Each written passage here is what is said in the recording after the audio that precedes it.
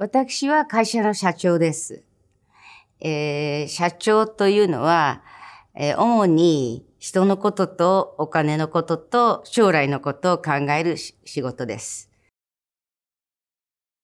ビジネスの世界というのは、ものすごく幅広いんですね。音楽のビジネスもあれば、スポーツのビジネスもあれば、いろんな業界のお仕事もできますし、それから、あの、一生懸命いろんな人たちを賛同して、自分の思ってる方向に、えー、みんなにも協力してもらって、えー、歩むということもできます。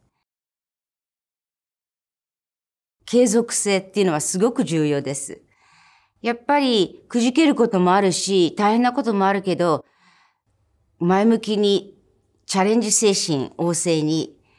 物事を進めるっていうことが重要だと思います。